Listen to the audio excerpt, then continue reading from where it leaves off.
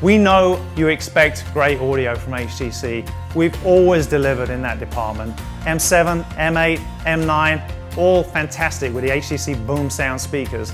This year, we've made BoomSound even better. Hi-Fi BoomSound on this is incredible. It's a massive improvement over BoomSound in previous generations. You can hear a lot more clarity in the audio coming out of the phone. The bottom of the phone actually um, separates the treble from the bass and it's like a subwoofer on the bottom of your phone. It is the best quality that you've heard. I think it's a nice way to split up the audio to actually give a really good quality audio experience to the user. It's just as incredible as the old BoomSound. It still got that boom. It was just brighter, a lot less noise. You can really hear the precise detail of the singer's voice. The sound you get is amazing compared to other phones. It's just impressive. It just sounds right. It's like watching a mini TV. I think that's really great that they're, uh, they're actually thinking about this and um, testing it and constantly improving it. The sound is so much clearer. The sound is kind of surrounding me, which I just, I loved.